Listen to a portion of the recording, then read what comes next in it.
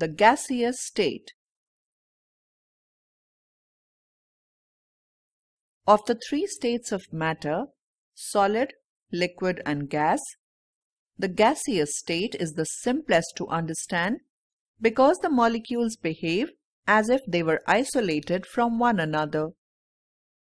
This much larger distance between the molecules in the gas phase has an important consequence. Gases can easily change their volume. We have all observed the change in volume of an automobile tire or balloon as the temperature changes. This dependence of the volume of a gas on temperature and pressure is in fact the basis for some important laws. Boyle's law on the effect of pressure on volume, Charles' law on the effect of temperature on volume,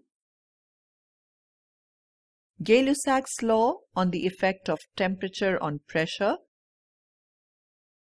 and Dalton's law on partial pressures. Before we begin our discussion, we must be clear about the pressure of a gas.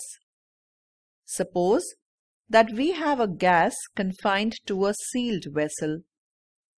The gas exerts a pressure from within the vessel that is a result of the impact of the gas molecules on the walls of the vessel. The greater the velocity of the molecule, the greater the impact or force that it will exert when it hits the walls of the vessel.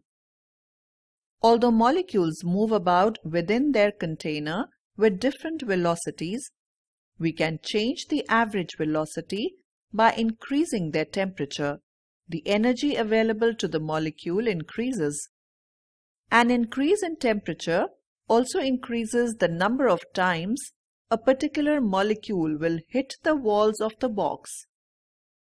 The gaseous state is characterized by the following physical properties. Gases are highly compressible. Gases exert pressure equally in all directions. Gases have much lower density than the solids and liquids. The volume and the shape of gases are not fixed. These assume volume and shape of the container. Gases mix evenly and completely in all proportions without any mechanical aid.